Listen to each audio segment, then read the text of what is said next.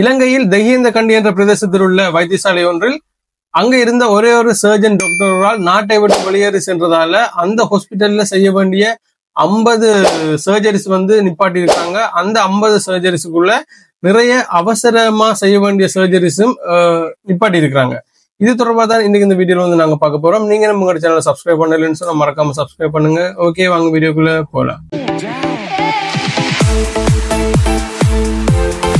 இலங்கையில் தஹியந்தகண்டி என்ற பிரதேசத்தில் உள்ள ஒரு வைத்தியசாலை ஒன்றுல அங்க இருந்த சர்ஜன் டாக்டர்களால் நாட்டை விட்டு ஸ்ரீலங்கால இருந்து நாட்டை விட்டு வெளியேறி சென்றதால அந்த ஹாஸ்பிட்டல்ல செய்ய வேண்டிய ஐம்ப கிட்டத்தட்ட ஐம்பது சர்ஜரிஸ் வந்து செய்யாம நிப்பாட்டி இருக்காங்க அந்த ஐம்பது சர்ஜரிஸ்க்குள்ள நிறைய அவசரமா செய்ய வேண்டிய சர்ஜரிஸும் இருந்திருக்கு. நான் ஏற்கனவே இதுக்கு மேல் போட்ட ஒரு வீடியோல போட்டிருந்தேன். ஸ்ரீலங்கால கிட்டத்தட்ட நாற்பது அரச வைத்தியசாலைகள் மூடப்பட்டிருக்குது அந்த அரச வைத்தியசாலைக்கு தேவையான போதுமான அளவு டாக்டர்ஸ் வந்து நாட்டில் இல்லாத காரணத்தினால அந்த அரச வைத்தியசாலை மூடப்பட்டிருக்குதுன்னு சொல்லி இதுக்கு மேல் போட்ட ஒரு வீடியோல வந்து நான் சொல்லியிருந்தேன். இப்ப இதுக்கு அப்புறம் என்ன நடந்திருக்குன்னு சொல்லி பார்த்தோம்னு சொன்னா இந்த தஹி இந்த கண்டி பிரதேசத்தில் உள்ள ஹாஸ்பிட்டல் அங்க இருந்த ஒரே ஒரு சர்ஜன் ஒரே ஒரு சர்ஜன் டாக்டர் வந்திருக்காங்க அவங்க அந்த ஹாஸ்பிட்டல் இருந்து ஹாஸ்பிட்டல் இருந்து மட்டுமில்ல இந்த ஸ்ரீலங்கால இருந்தே நாட்டை விட்டு வெளியேறி போயிருக்காங்க என்ன காரணத்துக்காக போயிருக்காங்க எப்ப திரும்ப வருவாங்கன்ற டீட்டெயில்ஸ் தெரியல. அவங்க அந்த ஹாஸ்பிட்டல்ல இல்லாத காரணத்தினால அந்த ஹாஸ்பிட்டல்ல செய்ய வேண்டிய ஐம்பது சர்ஜரிஸ் வந்து செய்யாமல் நிப்பாட்டி இருக்காங்க அங்க இருந்த பேஷண்ட்ஸ் வந்து கிட்ட இருந்த மெட்டமெட்ட ஹாஸ்பிட்டல்ஸ்க்கு அனுப்பியிருக்காங்க இருந்தாலும் மெட்டமெட்ட ஹாஸ்பிட்டல்ஸ்லயும் வந்து நிறைய பேஷண்ட்ஸ் இருந்த காரணத்துல வந்து இந்த இட வசதிகள் போதாத காரணத்தினால வந்து அங்க இருந்த பேஷண்ட்ஸ் வந்து நிறைய அசௌகரியங்களை வந்து எதிர்கொண்டிருக்காங்க அந்த ஹாஸ்பிட்டல் டிரெக்டர் வந்து உரிய சுகாதாரத்துறை அதிகாரிகளுக்கு வந்து கடிதம் மூலமா இந்த விஷயத்தை வந்து தெரியப்படுத்தியிருக்கிறாங்க. இப்ப என்ன பிரச்சனைன்னு சொன்னா இந்த ஹாஸ்பிட்டல்ல வந்து இந்த இங்க இருந்த சர்ஜன் டாக்டரால் வெளிநாட்டுக்கு போயிருக்கிறாங்க. அந்த வெளிநாட்டுக்கு அவங்க போனது வந்து பிரச்சனை இல்லை. என்ன சொன்னா டாக்டர்ஸ் வந்து நார்மலா வந்து வெளிநாட்டுக்கு அவங்க மேற்படிப்பு காரணமா போவாங்க இல்ல வேற வேற தனிப்பட்ட அலுவலக காரணமா போவாங்க. திரும்ப ஸ்ரீலங்காவுக்கு வருவாங்க இல்லையாண்டு இல்ல ஆனா அந்த டாக்டர் அந்த ஹாஸ்பிட்டல்ல இருந்து வெளிநாட்டுக்கு போன டைம்ல வந்து அவர்கிட்ட அந்த இடத்தை ஃபில் பண்றதுக்குரிய ஒரு டாக்டர் வந்து அந்த இடத்துல இல்ல. இது வந்து ஒரு பிரச்சனையா வந்து பார்க்கப்படுகின்றது. இதுக்கு முதல் போட்ட வீடியோல வந்து நான் சொல்லியிருப்பேன். நாற்பது அரச வைத்தியசாலையில் வந்து டாக்டர்ஸும் இந்த சுகாதாரத்துறையில இருக்க வேண்டிய இந்த ஊழியர்களும் ஊழியர்கள் வந்து போதாத காரணத்தினால வந்து இந்த நாற்பது ஹாஸ்பிட்டல்ஸ் வந்து அஹ், பூட்டி இருக்கிறாங்கன்னு சொல்லி. இப்ப இது எல்லாத்தையும் பார்க்கும்போது இன்னொரு விஷயம் தெரியுதுன்னு சொன்னா இலங்கால வந்து போதுமான அளவுக்கு வந்து டாக்டர்ஸ் இல்லாம இருக்குது. அதே நேரம் போதுமான அளவுக்கு வந்து இந்த சுகாதாரத்துறையில் இருக்க வேண்டிய அதிகாரிகள் வந்து காணாமல் இருக்குன்னு சொல்லி ஒரு விஷயம் வந்து தெரியுது. இதே டைம் வந்து இப்ப இந்த ஒரு பிரச்சனை போய்கொண்டு இருந்த இதே டைம் வந்து ஸ்ரீலங்கால இன்னொரு விஷயம் வந்து நடந்திருக்கு. கடந்த மூன்று ஆண்டு காலம் அதாவது ரெண்டாயிரத்தி இருபது ரெண்டாயிரத்தி இருபத்தி ஒன்று ரெண்டாயிரத்தி இருபத்தி ரெண்டு இந்த மூன்று வருஷத்திலும் இல்லாத அளவுக்கு வந்து இந்த வருஷம் வந்து டெங்கு கேசஸ் வந்து ரிப்போர்ட் பண்ணப்பட்டிருக்கு. அதாவது வந்து ரெண்டாயிரத்தி இருபதாம் ஆண்டு ரெண்டாயிரத்தி இருபத்தி ஒன்று ரெண்டாயிரத்தி இருபத்தி ரெண்டு இந்த மூன்று வருடத்தையும் விட இந்த வருடம் ரெண்டாயிரத்தி இருபத்தி மூணாம் ஆண்டு கிட்டத்தட்ட எழுபத்தி எட்டாயிரம் டெங்கு கேசஸ் வந்து ரிப்போர்ட் பண்ணப்பட்டிருக்கு. இதுல வந்து பதினாறாயிரத்துக்கும் அதிகமான கேசஸ் வந்து கொழும்புல தான் வந்து பதியப்பட்டிருக்கு. இந்த டெங்கு கேசஸ்ல வந்து நாற்பத்தி ஆறு பேர் வந்து இந்த ரெண்டாயிரத்தி இருபத்தி மூணாம் ஆண்டு மட்டும் நாற்பத்தாறு பேர் வந்து இந்த டெங்குவால வந்து இறந்திருக்காங்க. வடிவ சொல்லணும்னு சொன்னா ஒரு சின்ன ஒரு நுழம்பு கடிச்சு இலங்கையில இந்த வருடம் மட்டும் நாற்பத்தாறு பேர் வந்து நுழம்பு கடிச்சு இறந்திருக்காங்க.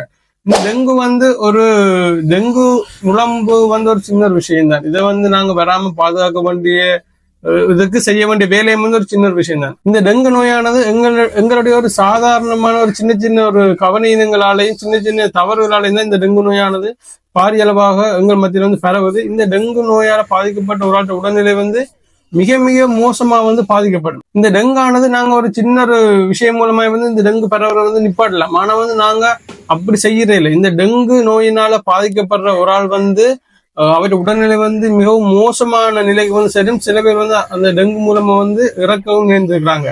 இந்த டெங்கு வந்து எவ்வாறு பரவுதுன்னு சொன்னா இந்த டெங்கு நிலம்பு வந்து எல்லா சீசன்லயும் வந்து பரவாது. இந்த மழை காலத்துல கூடுதலா பரவும். ஏன் மழை காலத்துல பரவுதுன்னு சொன்னா இந்த டெங்கு நுழம்பு வந்து நல்ல தண்ணியில மட்டும்தான் முட்டை போட்டு நுழம்பு வந்து பெருகும். நல்ல தண்ணி வந்து எப்ப கிடைக்கும்னு சொன்னா மழை காலத்துல அதிகமா வந்து இந்த டெங்கு நுழம்பு பரவதுக்கு வாய்ப்பு இருக்கு. ஏன்னு சொன்னா இந்த மழை காலத்துல எங்களோட வீட்டை சுத்தியும் எங்களோட ஏரியாக்களை சுத்தியும் இந்த நிறைய அந்த பிளாஸ்டிக் போத்தர்கள் இந்த மழை தண்ணியை வந்து தேங்கி வைக்கக்கூடிய மாதிரி நிறைய விஷயங்களை வந்து நாங்க கவனிக்காம விடுறோம். இந்த இடங்கள்ல தான் இந்த டெங்கு நுழம்பானது அளவுக்கு அதிகமா வந்து பரவுது. அது மட்டும் இல்ல இந்த டெங்கு நுழம்பு வந்து இரவு நேரத்துல வந்து கடிக்கிறதில்ல டெங்கு நுழம்பு பகல் டைம்ல மட்டும்தான் ஆகலை ஆக்களை கடிக்குது. இந்த பகல் டைம்ல தான் நாங்க டெங்கு நுழம்பிட்டு இருந்து எங்களை பாதுகாத்துக் கொள்ளணும் இந்த பகல் டைம்ல டெங்கு நுழம்புகள் அதிகமா இருக்கிற பிரதேசங்கள் நாங்க டெங்கு நோயாளர்களை இனம் காண்ற இடங்கள் டெங்கு நுழம்புகள் அதிகமா இருக்கிற பிரதேசங்களை இனம் காணுவோமா இருந்தா அந்த இடங்கள்ல எங்களை டெங்கு நுழம்பானது கடிக்காம நாங்க பாத்துக்கொள்ளணும் அதுக்கு சில சில தைலங்கள் சில எண்ணெய்கள் மற்ற இந்த நுழம்பு கடிக்காம இருக்கிறது நிறைய விஷயங்கள் வந்து இருக்குது. அந்த விஷயங்களை வந்து நாங்க பாவிச்சு இந்த டெங்கு நுழம்புற அடிக்கிட்டு இருந்து நாங்க தப்பலாம். இதெல்லாம் வந்து சின்ன சின்ன விஷயங்கள் தான் இந்த நன்னீர் தேங்கி இருக்கிற இடங்களை வந்து சுத்தப்படுத்தி வைக்கிறது இந்த நுழம்பு கடிக்காம அந்த தைலங்கள் எண்ணெய்களை வந்து பாவிக்கிறது இதெல்லாம் வந்து ஒரு சின்ன சின்ன விஷயங்கள். இந்த சின்ன சின்ன விஷயங்களை வந்து நாங்க பார்த்து சரி பண்ணி கொள்வோமா இருந்தா இந்த டெங்கு பரவுறதை வந்து பாரிய அளவை வந்து நாங்க தடுக்கையிலும் அது மட்டும் இல்லாமல் இந்த சின்னாக்கள் இருக்கிற வீடுகள் சின்னாக்கள் இருக்கிற இடங்களை வந்து நாங்க முடிஞ்ச அளவுக்கு வந்து இந்த நன்னீர் வந்து தேங்கி நிக்காம வந்து பார்த்துக்கொள்வோமா இருந்தா இந்த டெங்கால வந்து இறக்குறாக்குற எண்ணிக்கையும் டெங்கால பாதிக்கப்படுறாக்குற எண்ணிக்கையும் வந்து எங்களால குறைக்க முடியும். ஏன் நான் சொல்றேன்னு சொன்னா இந்த டெங்கு விளம்பு வந்து ஒரு சின்ன ஒரு விஷயம். இந்த சின்ன ஒரு விஷயத்தால வந்து இந்த ஆண்டு மட்டும் நாற்பத்தாறு பேர் வந்து இலங்கையில இறந்திருக்கிறாங்க. எழுபத்தி எட்டாயிரத்துக்கும் அதிகமான டெங்கு கேசஸ் வந்து ரிப்போர்ட் பண்ணப்பட்டிருக்குது. ஏற்கனவே வந்து எங்க நாட்டுல வந்து இந்த சுகாதாரத்துறையில வந்து ஆட்கள் வந்து போதாம இருக்குது. இந்த மாதிரி டைம்ல வந்து நாங்க இவ்வாறு சின்ன சின்ன கேர்லஸ் விடுறதாலையும் வந்து நோய்கள் டெங்கு போன்ற நோய்கள் வந்து அளவுக்கு அதிகமாக வந்து பரவுறதாலையும் வந்து இந்த பிரச்சனை வந்து இன்னும் ஒரு பெரிய பிரச்சனையா வந்து மாறும். ஏன்னு ஏற்கனவே வந்து இருக்கிற நோயாளிகளை பார்க்கறதுக்கே வந்து டாக்டர்ஸும் இந்த சுகாதாரத்துறையில் இருக்கிற ஊழியர்கள் வந்து போதாம இருக்கிற டைம்ல நாங்களும் வந்து எங்களுடைய சின்ன சின்ன கேர்லெஸ்ஸால இந்த டெங்கு போன்ற இந்த நோய்களை வந்து பரவ விடுறதால வந்து இன்னும் வந்து எங்களுக்கு வந்து அசௌகரியங்களை வந்து ஏற்படும்.